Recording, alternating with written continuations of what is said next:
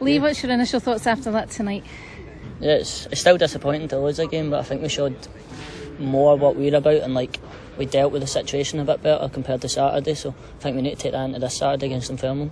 After Saturday's performance at Falkirk, I did say to Willie, coming to Ibrox might just be the game that he's needed, and going out there, nothing to fear really, and put on a performance.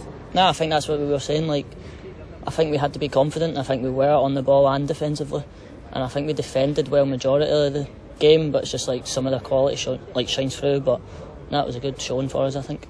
Take a lot of confidence from this performance tonight. Yeah, definitely. Like our focus is on the league, and we've not had the best of starts. So like, why not start now and go on Saturday and go on a run, hopefully. It's all about consistency, isn't it? I've talked to Willie about it on numerous occasions.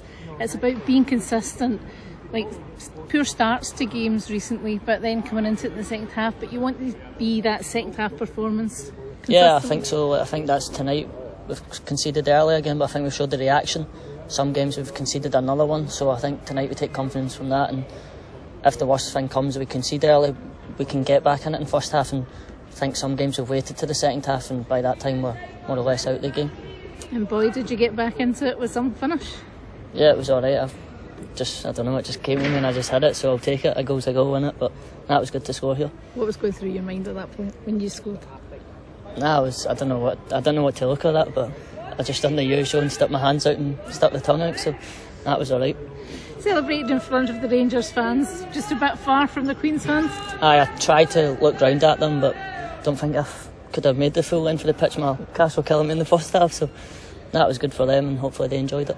You talked about um, the league being the priority. This is great financially for the club, but the league is the priority, and you, you need to kick on in that now. Yeah, definitely. Like it's been a poor start, and we all know that. And now, like we're hurting every like when the games we've not performed, but I think we need to go on a run, and every team usually does get a run. So hopefully it'll start this Saturday.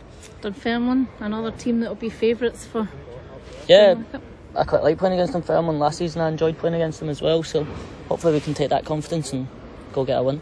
I asked Josh this before the Falkirk game, and it was like, you know, teams like, no disrespect to teams like Clyde and Peterhead, but they're in your face all the time and all. And I did think they would be better against Falkirk, but teams like Falkirk and Dunfermline, do they give you more time to play? Yeah, I think so in certain aspects because they respect us maybe, and I think we have some good players, but they have some good players. So I think we can. I think tonight's like we can take that we can sit off the game at times and we don't have to be full speed. And they'll probably think the same of us. But especially against Dunfermline, we've had not bad results last season, and it's majority are the same team. So hopefully we'll go and get a win. Another finish late tonight. Yeah, well, I'll take any goal. A goal's a goal in it, but I'll take anything.